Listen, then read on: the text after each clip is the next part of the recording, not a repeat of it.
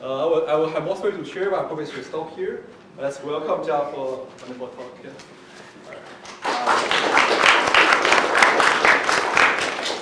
Thank you, Julian, for the overly generous introduction. I, I worry that you know uh, my talk will not be as good as the introduction. Um, and um, uh, I'm very excited to be here. And uh, um, I think uh, it's been quite a while since I last uh, visited CMU. So, uh, so, so I'm very happy to share some newer work with you. And today I'm going to talk about our work toward an image ImageNet moment for synthetic data. Uh, for me, having ImageNet in the title is kind of special. Um, and uh, so I've actually never given a talk with ImageNet in the title uh, since, uh, like, you know, I, uh, I, I, first lo uh, looked for faculty jobs. But, but you know, it's, it's, a sort of a nice revisiting of ImageNet, although I'm not going to talk about ImageNet. Um, so you might have heard this phrase, uh, the ImageNet moment of X. Uh, originally, this was the ImageNet moment of computer vision. This is usually used to mean the demonstration of a powerful recipe that should be very familiar to everybody here.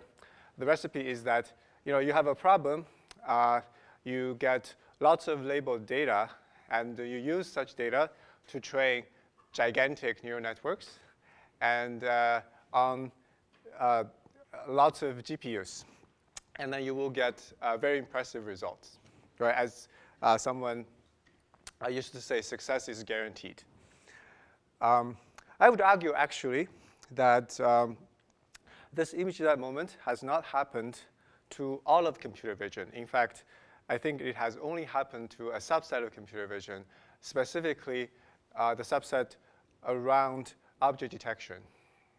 Uh, that's because for this subset of computer vision, we do have lots of uh, high quality labeled data. Uh, we have real world images, and it's not too hard to annotate lots of labels about objects.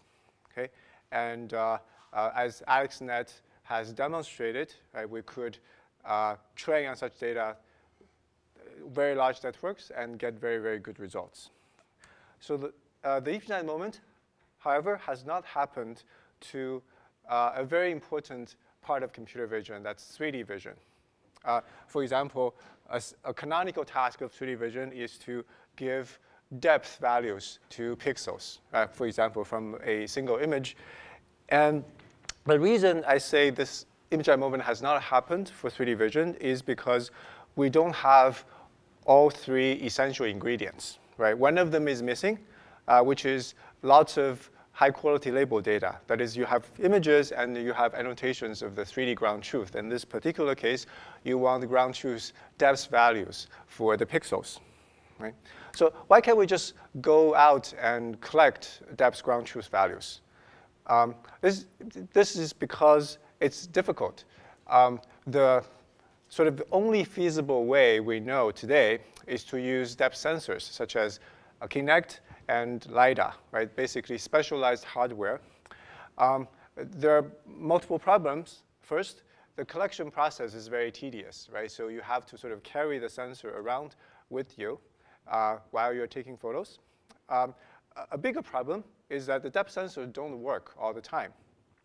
Um, uh, they have limited range, meaning that outside a you know, certain distance, you will get no uh, depth observations, for example, you know, uh, the LiDAR on your iPhone uh, maybe can do like one or two meters, but beyond that, uh, it doesn't uh, give you depth values. And also the resolution is much, much lower than the RGB pixels. Um, also, uh, it doesn't work on certain kinds of surfaces, for example, transparent surfaces or specular surfaces. As a result, uh, we don't actually have uh, very high quality RGBD data uh, that cover a wide range of scenes. Um, so that certainly has blocked the process of uh, 3D vision, for example, single uh, image depth estimation. So even though uh, you can see the uh, visualization of a depth map in 2D, uh, as kind of impressive and sharp. But once you actually look uh, the 3D geometry, look at the 3D geometry, uh, it, it's usually very off. There are kind of uh, very uh, severe errors. Uh, so we're actually still very far away from uh, solving this single image depth problem. And this is just one of the many 3D vision problems. Now, are there other ways? synthetic data is one of the promising alternatives. So here, I would like to emphasize that by synthetic data, I mean data generated by old-fashioned conventional computer graphics. Uh, this is because uh, this term, synthetic data, has taken a new meaning uh, nowadays, uh, which is data generated by AI models. Okay? Uh, because we use synthetic data here is generated by conventional graphics, uh, it's very easy for us to have unlimited quantity as well as automatic high quality labels for many tasks. For example, uh, optical flow from this um, MPI Sintel dataset. And um, there is ample evidence that shows that synthetic data can be very useful. And um, in, uh, in, some of our past work, uh, we have observed that systems trained entirely on synthetic data can actually work very well out of the box, zero shot, on real world images. So this is very encouraging. And uh, here, you know, I would like to sort of uh, answer this question that you might have, which is why insist on old-fashioned uh, computer graphics uh, when generating synthetic data? You know, why don't we just train on synthetic data generated by AI models, uh, like, uh, you know, a diffusion network? Well, um, so uh, this is because you know, I think uh, training AI on data generated AI uh, can be uh, circular uh, in, in, in the sense that sort of, you know, you are, uh, you, you, are improving your, it's like you're improving self on your, on the output you generate yourself, right? So when we say, well, we're trying to improve something, the, the, it has, there has to be a source somewhere. It can, you know, there seems to be limited things you can do by bootstrapping yourself. Um, it, it's not like it doesn't make sense, uh, you know, all the time. Uh, it, it, can make sense where you're trying to, you know, copy somebody else's AI, or you try when you try to downsize an existing AI. Of course, not everybody would agree with me on this, uh, but I, you know, uh, I feel like the uh, old-fashioned graphics would offer you a lot more than uh, synthetic data generated by AI models. All right, um, so you might say, well, you know, what about the domain gap, right? Because you know, you probably have seen some existing synthetic data sets uh, with uh, like this level of photorealism. Uh, and uh, the natural question is, well, you know, it seems like there is a large domain gap, and uh, how do you ensure that uh, system trained on synthetic data would actually work on real data? Uh, wouldn't be very difficult to uh, narrow down this domain gap. Um, the answer I have is that this isn't a fundamental problem because Hollywood has shown us, you know, if you have enough resources, any level of photorealism is actually achievable. You can make it, you know, actually close to zero. It's really just a matter of cost. There is no uh, fundamental technology barrier. Um, that said, existing synthetic data is quite limited. Um, they are limited in detail and realism, and then they're limited in terms of the coverage of the real world. Uh, and uh, uh, they have limited labels and may uh, have limited accessibility, meaning that sometimes you have access to the pixels and the annotations, but if you want the underlying 3D models, and you're out of luck, or you have to uh, pay extra. Um, okay, so now, um, you know, maybe we should address the limitations of existing synthetic data. How about, you know, we take an ImageNet-like approach. Uh, that is, we go out and uh, uh, scrape the internet for 3D models, right? And people have, in fact, uh, uh, made a lot of effort uh, in this direction.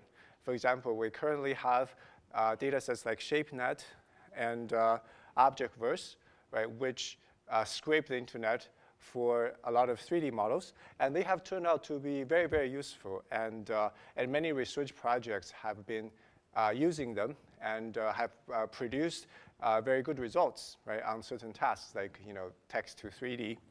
Um, however, these ImageNet-like approaches still have some limitations. this is because fundamentally, creating 3D models is much, much harder than snapping photos. Okay? Uh, usually a 3D model on the internet is created by some 3D artist, right? It takes many hours of work. Uh, it's much more than you know, a, a, second that would take you to snap a photo. Okay? So as a result, uh, the, the amount of 3D models you have on the internet is really, really limited, especially the high quality ones. Uh, and uh, the models you have on the internet, they tend to be objects, but not full scenes. And also, you, you, typically get static meshes uh, that uh, are hard to modify or control. Right? For example, you might not have rigging available for you to generate animation for uh, a you know, 3D mesh. So here we are asking in our uh, research whether there is a different approach that, that can address these uh, limitations of existing synthetic data sets. Right? In particular, we'd like something that would offer uh, unlimited quantity and uh, uh, not just objects, but also things, as well as fine-grained control. Okay, so now uh, I'd like to just show you a video that introduces uh, our project on generating synthetic data.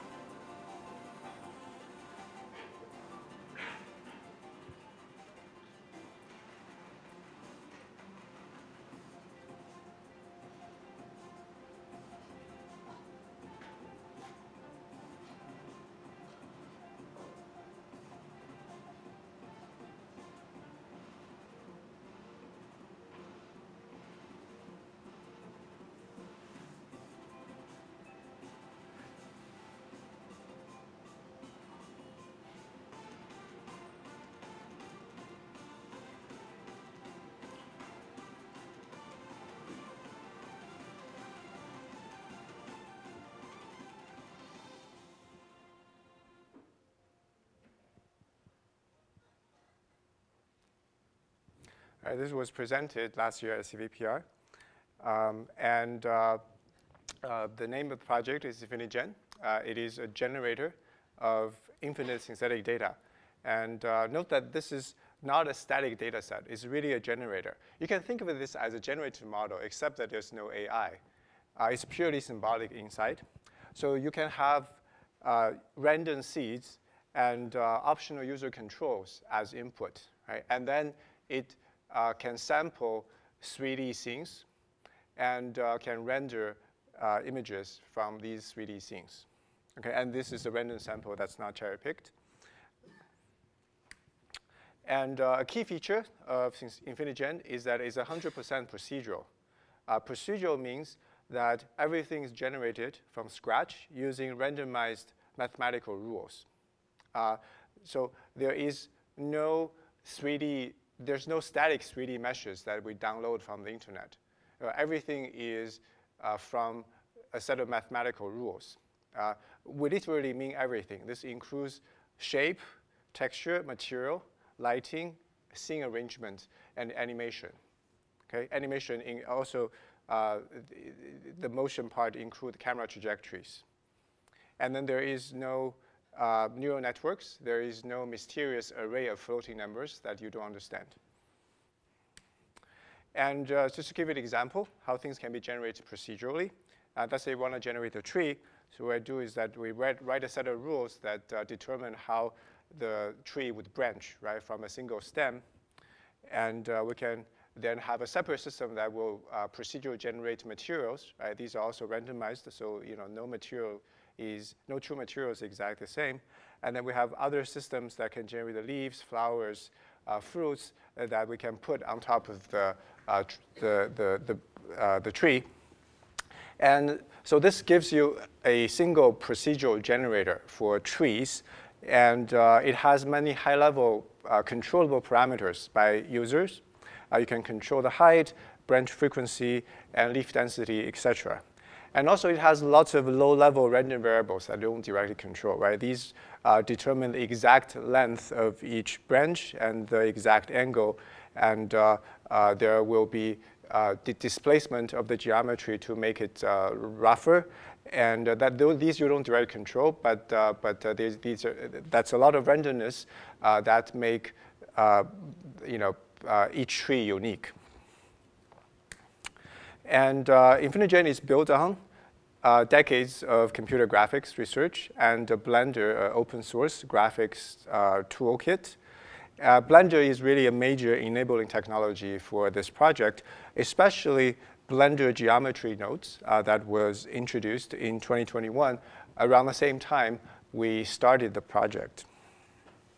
So the Blender node system uh, is a intuitive way for artists to compose mathematical functions to form a compute graph that will determine the shape of an object or the material of a surface.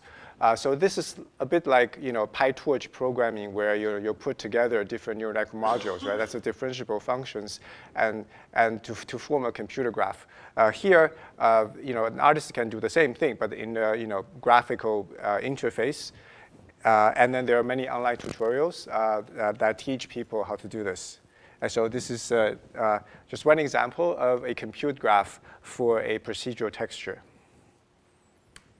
And uh, to uh, make it even more flexible, we built a node transpiler. What it does is that it turns a uh, node graph into Python code so that you know then you can use this piece of Python code any way you want, right? You can have loops, you can have conditional statement, uh, you know, you can compose it with some other uh, uh, systems, and so that sort of make it more expressive and also more friendly to uh, programmers. And uh, another benefit of this transpiler is that now it easily enables open source contributions from uh, everybody. Uh, so you don't have to be a programmer, right? You can just uh, compose some procedural node graphs, and then we can automatically convert the, this node graph to Python code. And this is uh, example, the cloud in the background is actually from the artist uh, released under CC0 license. Um, currently, uh, InfiniGen has uh, covered a lot of the natural world. Uh, so we have uh, uh, underwater objects, we have plants, we have you know, trees, we have goofy animals, we have also a rigging system for the animals. Because the animal is generated procedurally, so we actually uh, just have the skeleton, right, by construction, and then we can uh, add cloth simulation. Let's see if this works. Oh, somehow this is stuck. Okay, anyways, so, so this can actually be animated. Uh, somehow the animation, the video is not showing. I'm not sure why. And also the, the skin deformation, you know, can be uh, uh, uh, done through cloth simulation. And we also have a terrain system. Uh, so all kinds of different terrains, including oceans, uh, snow mountains, they are generated from the same system using procedural noise. And basically, you know, you procedurally generates uh, uh, SDF or occupancy functions, and then you use marching cubes to convert them into meshes. And we also have material generators, and these are examples of different materials. And the scene composition system is also procedural. I mean that these are also by uh, rules. Uh, so we first compose a coarse scene. Uh, we have a coarse placeholders for different kinds of objects and then we pick a camera view, and then we populate the scene with uh, the you know uh, de detailed assets, and then they would be meshed according to the distance to the camera, right, to optimize uh, efficiency. And, uh, and then we'll uh, do photorealistic rendering. And so here, uh, we will use the Blender Cycles ray tracing engine, but you can use other rendering engines. And this is not, this is not like coupled to the system. Okay, so that's the sort of the basics how, of how the system works. Uh, you might have some questions, you know, about, about the system. Um, so for example, you might ask, well, you know, it seems like, you know, you have all these rules that, that, that generate all these different things where everything's handcrafted. Um, how can it ever match the diversity of the real world, right? It seems like the real world is infinitely complex. You know, uh, I mean, it's a very reasonable question to ask? So you know, you know, maybe maybe you know you, you, will just cover a very uh, narrow uh, sliver of the real world distribution. This will turn out to be not that useful. Um, my answer is that well, in principle, this is uh, not uh, a, a, barrier because the world is compositional. Okay, this is a quote that I often heard as a grad student. And uh, so to give you an example, right, you might think that okay, to develop uh, different generators that cover different uh, categories of objects, we will have, you know, these parallel efforts, right? So, you know, there's a thousand object categories. We have like, uh, you know, maybe a thousand people each working on a separate, as a separate thread, right, on a different generator. Uh, you might, you might have someone working on tree generator, someone works on uh, bush generator, and someone, you know, focuses on creature. But this is actually not uh, what actually happened. What happened is that uh, there's a lot of subcomponents actually uh, that can be reused. Uh, so the branching growth generator that you know is the same right, for both the tree and bushes. And same, the bark generator, the leaves, they can all be reused. And uh, for creature generators, well, you might think it's very different from trees, um, but it turns out there's still lower level utilities that can be reused, right? It's in terms of sort of the basic geometry, and, uh, uh, and, and sort of the, the, the BRDFs. And also, you know, we, you might develop a rigging system for creatures, and turns out this rigging system can also be used by the tree generator to generate animation for trees. Uh, so basically, the idea is that there are a lot of uh, compositional structure so that you, you actually can reuse uh, the subcomponents and parts that you have already developed. And in that sense, uh, that actually is uh, a much less amount of work uh, to develop the system. Um, on, on, the other hand, right, because of the composition, the diversity of the system actually grows exponentially with the number of generators you have uh, because the complexity is actually a product of the diversity of each generator.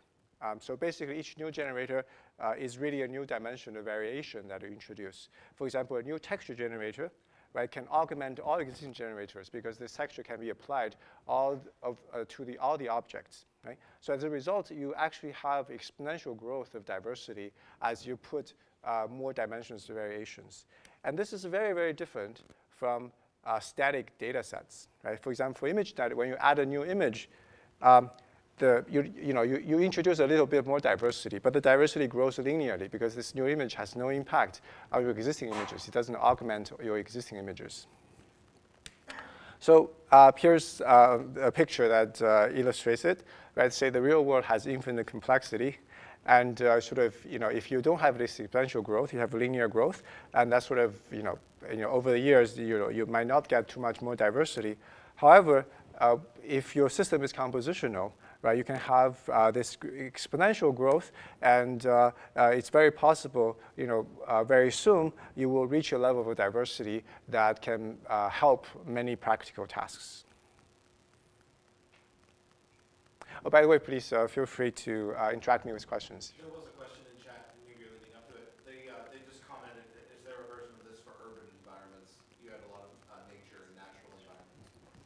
Um, the, the, uh, the, the, answer is that we don't have urban environments right now, uh, but that's on the roadmap. But we do have uh, something else that I will show you later in the talk, other than natural objects. Okay, so another question you might have is that, okay, maybe you have enough diversity, but the generator is giving you a particular distribution, right? Um, you, know, you know, how close should this distribution be uh, to the real world? Okay, I mean, I mean, um, I mean, intuitively, you know, you should make it as close as possible to the real world, right? Because that's intuitively that's when you know machine learning system will will work the best, right? Because if the training distribution and test distribution are exactly the same, um, that uh, sounds like a very hard problem, right? How can you ever you know make sure that it's it's very close to the real world, right? It sort of generates no more and no less. Um, well, so our uh, position is that uh, we want it to be somewhat close, but not too close, okay? Um, the first reason is that we think it's not necessary for the distribution to be fully faithful uh, to the real world distribution. Why? Uh, because if you look at this photo, uh, this is a dragon from a TV show. This dragon doesn't exist in the real world, okay? But but you still see the dragon. You can see the 3D shape. Your visual system doesn't fail, right? Uh, and, and it looks pretty realistic to you, as you feel like this could actually exist in the real world. Um, so this says that the distribution our visual system can handle actually is much larger than uh, the distribution of the real world. Okay? Um, so, so in other words, actually it's okay for your distribution to uh, to be approximate or, or slightly larger, right? So you have some kind of domain randomization introduced, and which might actually be beneficial, uh, you know, uh, from existing evidence, okay? And engineering-wise, uh, it's much easier to approximate the real-world distribution as, a, like a coarse envelope, okay? Obviously, exactly how the envelope should be uh, is an open research question because we don't that you know if it's like too uh, flexible, is you know, it's too off, this might have adverse effect, um, but, but, but uh, we think that it's actually not necessary to be uh, you know, 100% faithful to sort of really trace out the fine boundaries. Okay? Uh, and I, I, think we think that by having an approximate envelope, this can already uh, provide a lot of value for training 3D uh, vision systems or other tasks. Okay? And another point is that this is because the system is procedural, and then you could customize the distribution for each application. For example, you know, uh, should corals only appear in water? Uh, it actually depends, right? Uh, because if your application is only underwater, sure, uh, or, or you know, you, you have, you know, if, if there's certain regularities uh, or certain assumptions that you can make for your domain, um, you can certainly make it uh, by, by customize the system. Okay, so you have noticed that we only showed uh, natural objects and natural things, right? So why did we start with that?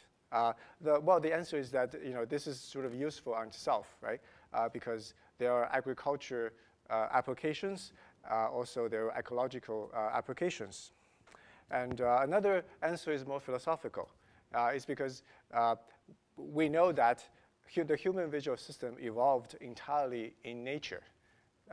So uh, the, the, you know, the, the, observation is that you know, the human visual system or, or animal visual system, they don't have to be exposed to artificial objects uh, in order to develop right, or, or function. Um, so uh, we think that you know, if we just have natural objects, uh, they should be sufficient for training uh, the most advanced uh, vision system. Although we might not know how to do it, we might not have the right learning algorithms, but, but, the, but the argument is that uh, such data should, uh, in principle, be sufficient. Okay, here's another evidence is that you know, we have, uh, we know that birds can really do very intelligent things.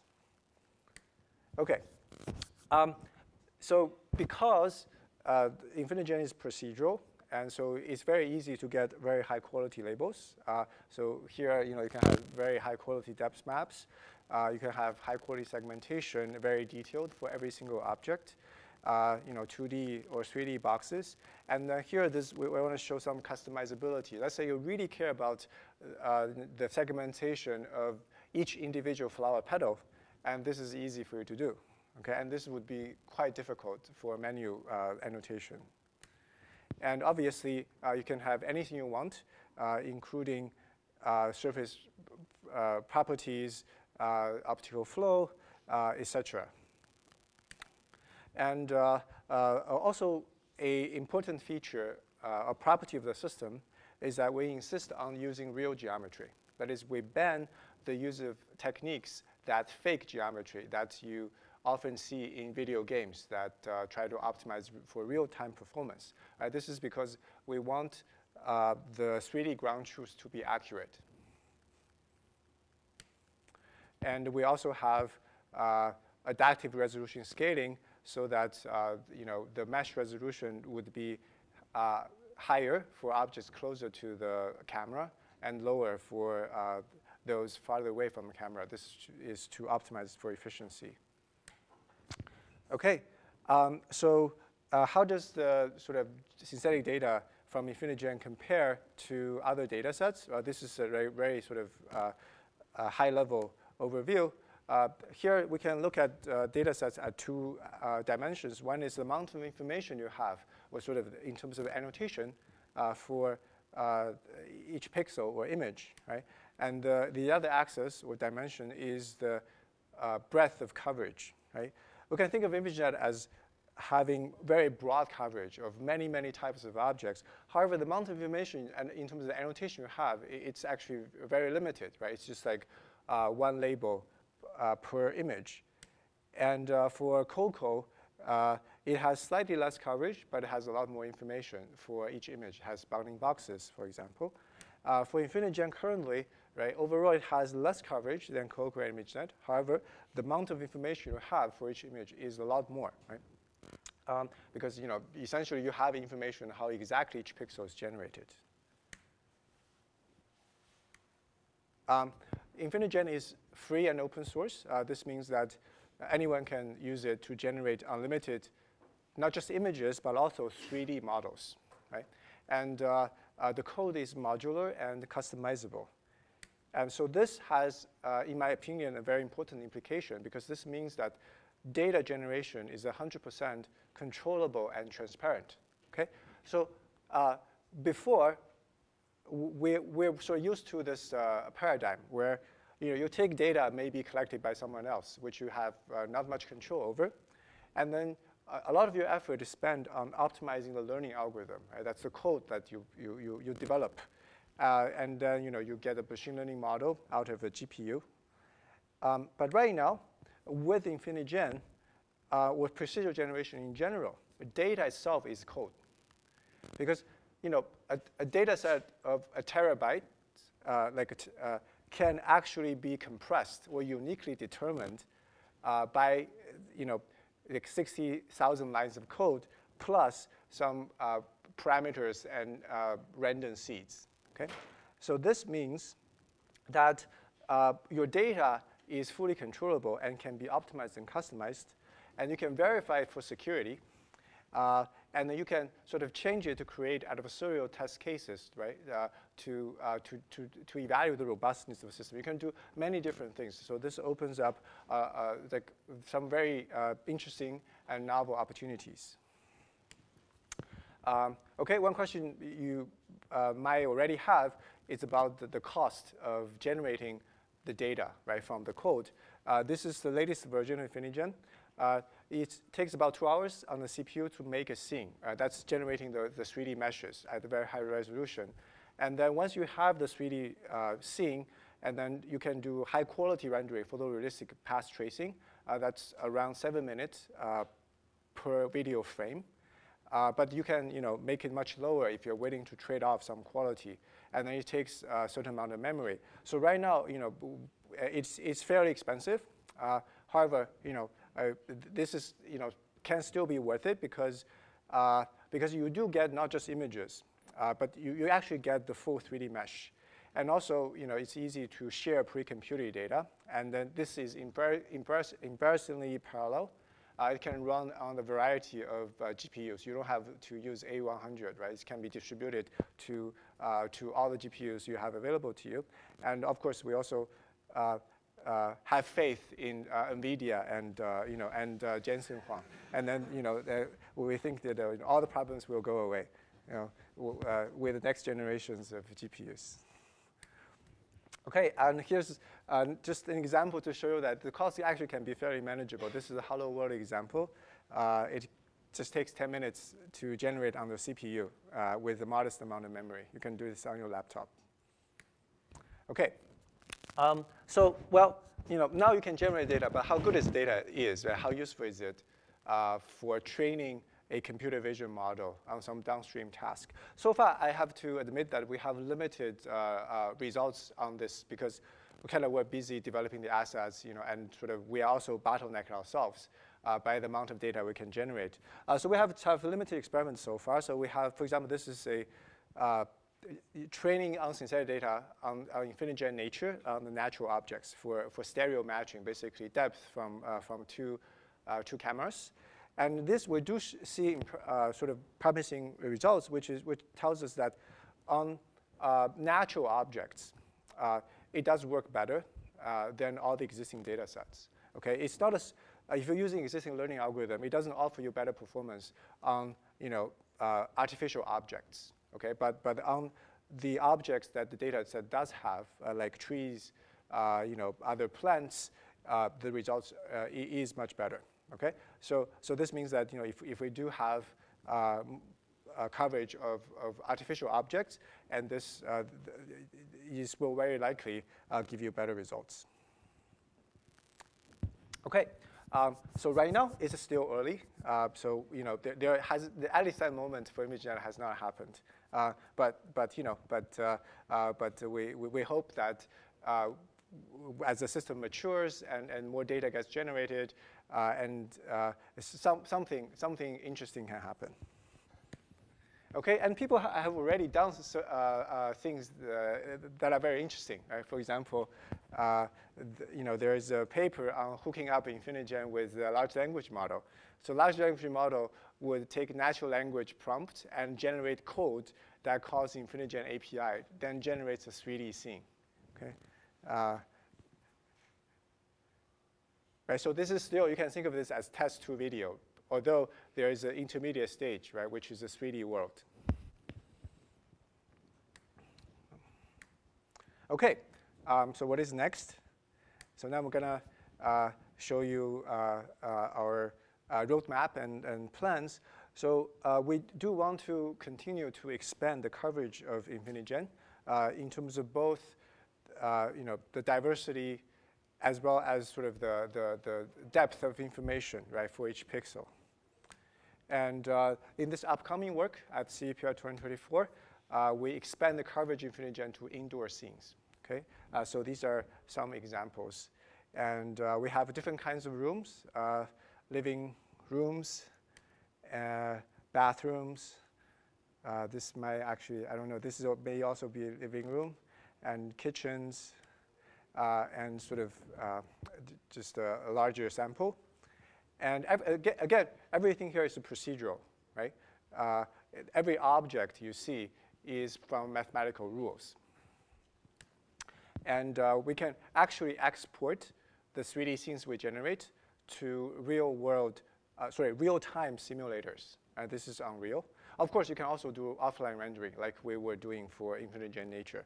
Um, but this you know, real-time rendering uh, seems more relevant for robotics applications.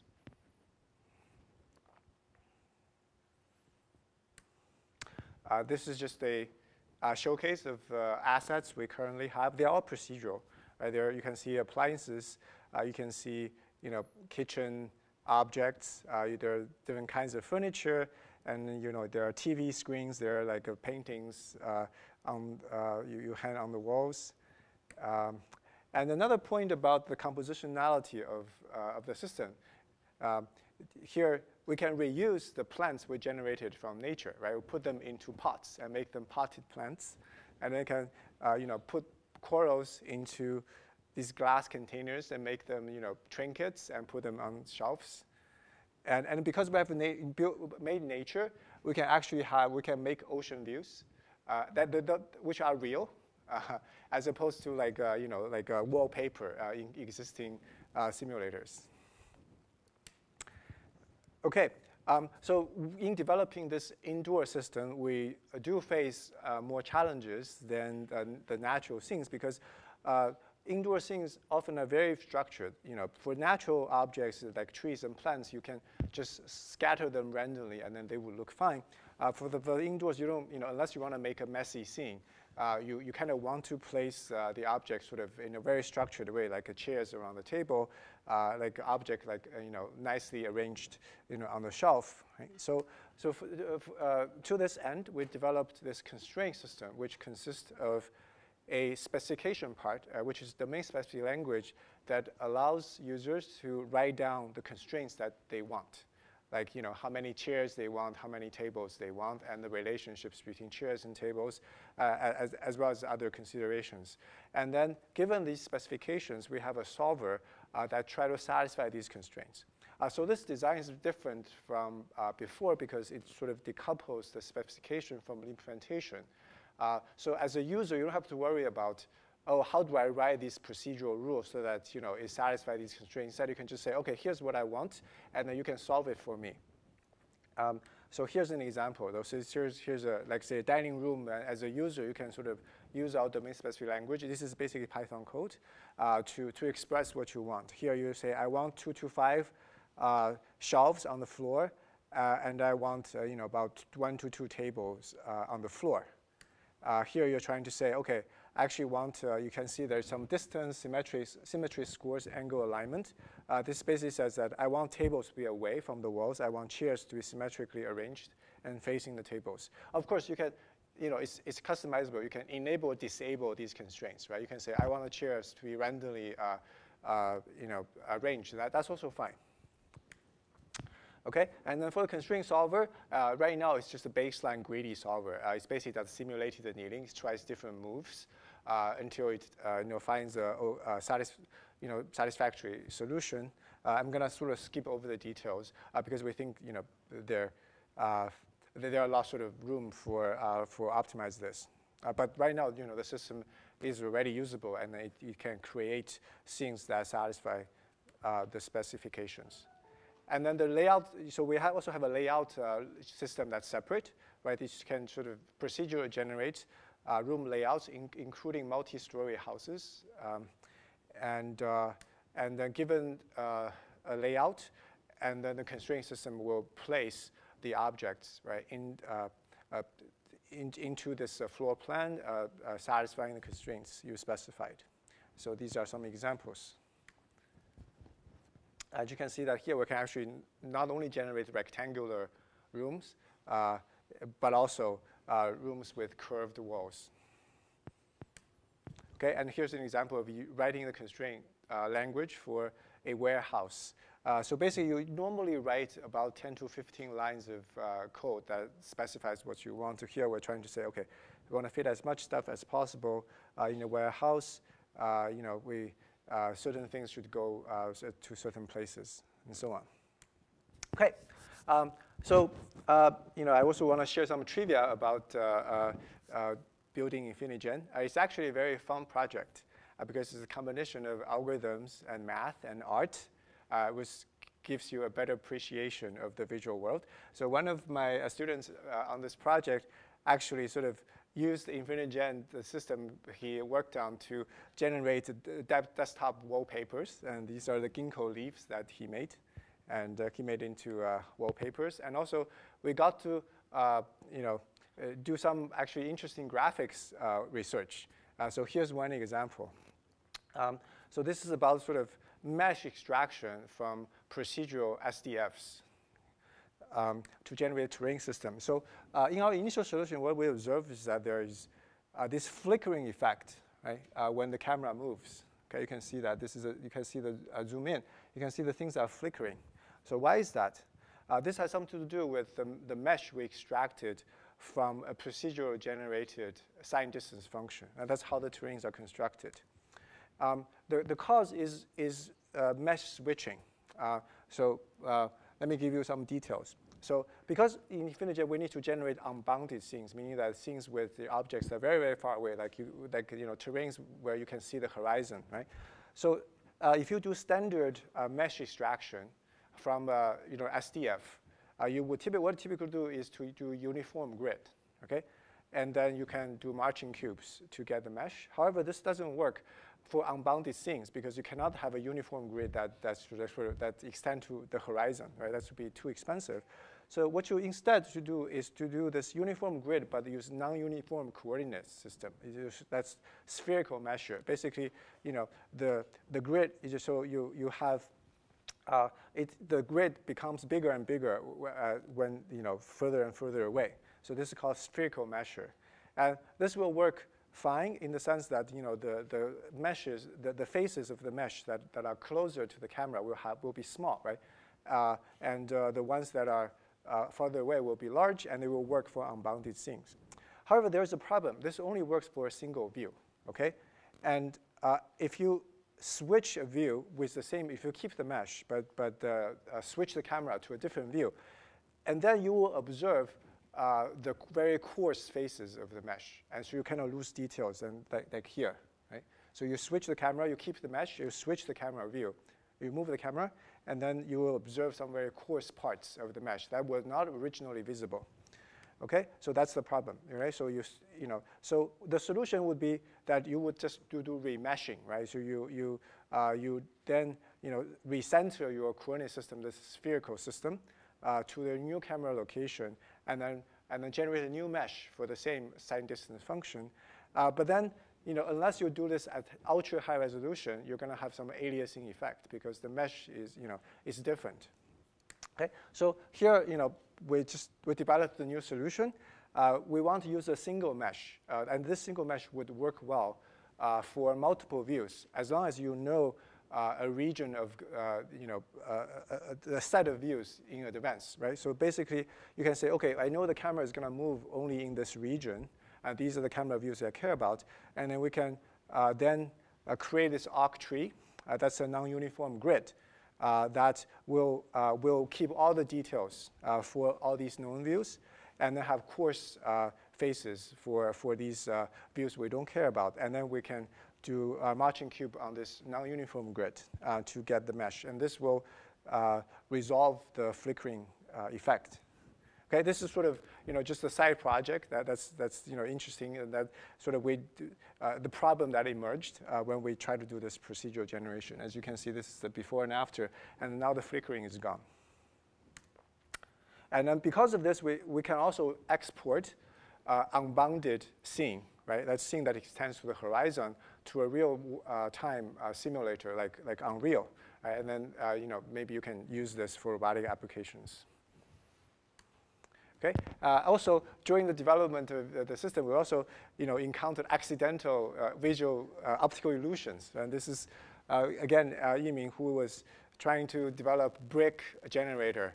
And then he accidentally discovered this pattern where, you know, th these are actually perfectly horizontal. Uh, but when you look at it, it looks like they are not quite, okay? Uh, I think there's a name for it, but I don't know what it is. Uh, but anyways, so this is fun. Um, And uh, currently, we are still actively developing Infinigen. Uh, uh, we're trying to expand the coverage. We're trying to improve usability for different kind of use cases. And you know, we have a Twitter account you, where you can find the latest. Okay, um, Uh, that's uh, pretty much all I plan to talk about. And uh, I would like to acknowledge my students working on this. it's, a, it's a large team project. these are the authors of uh, Infinigen Nature paper, and then this is the authors for Infinigen Indoors. And with that, I would like to stop here and take questions. Thank you.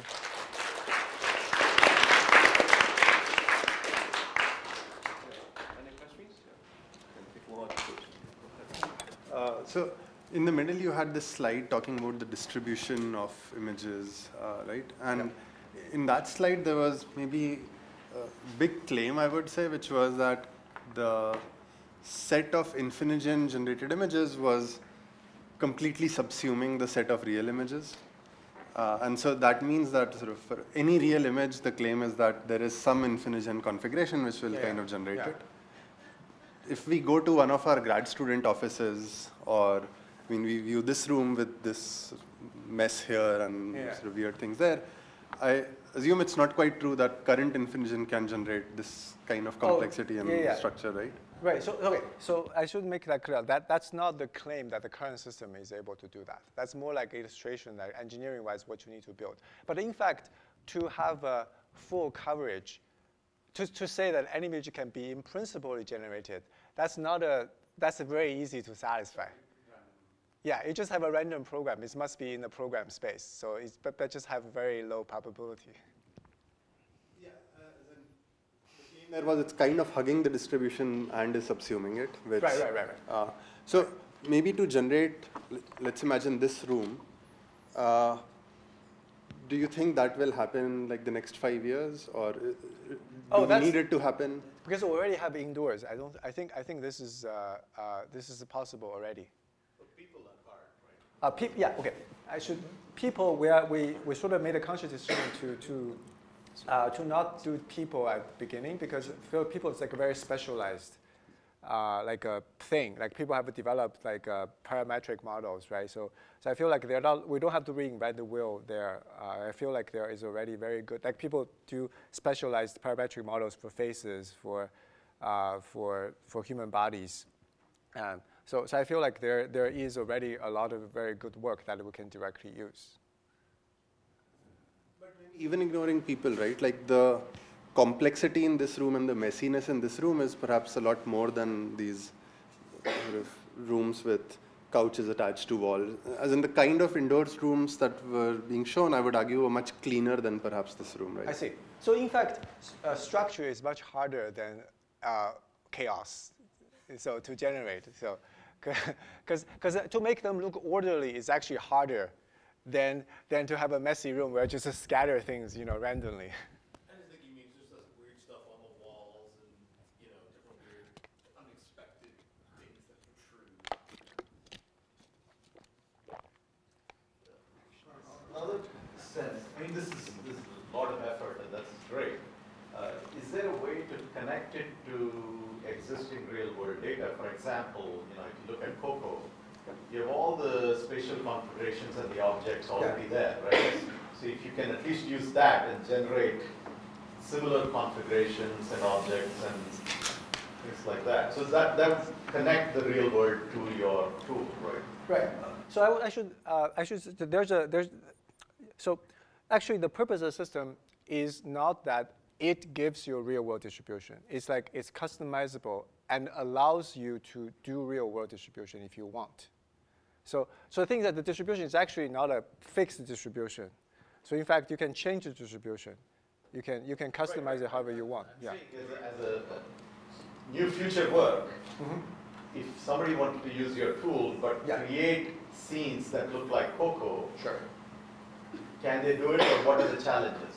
I see, I see. That's an interesting question. I think this uh, comes down to some kind of optimization problem because because maybe for Coco you have uh, annotations bounding boxes, and I will tell you something about uh, you basically have a distribution about uh, you know co-occurrences of, of objects and so on, right? Which part, like you, even in 2D, right? You, there's a distribution, and basically the question is like, how do you set the procedural parameters such that these distributions match? Uh, this is in principle solvable because uh, you know if you don't worry about efficiency, this is a black box optimization. You know, you just enumerate all possibilities, then you can solve it. But but we can do something better. Like you know, if somehow you have a gradient, maybe you have a neural network to help you with the search and so on. Right. So in principle, this is optimization problem that can be well defined. Uh, uh, it's just that like you know maybe is how efficient you can do the search.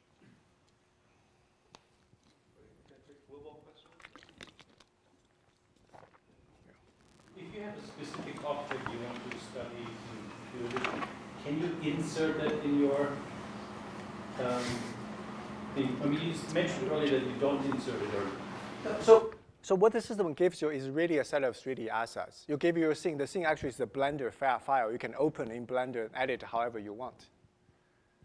So, so really, it's not just give you images. Is really the, the really end product with rendering, but but the intermediate the intermediate steps, you actually have the full 3D meshes that you can use however you want.